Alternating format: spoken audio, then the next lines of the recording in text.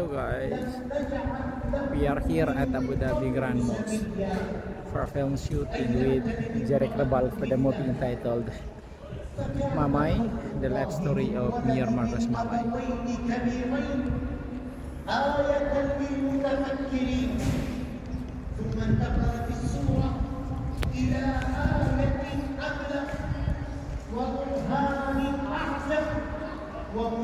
آية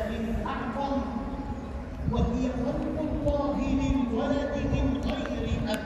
رزق اليقين بحكمة الله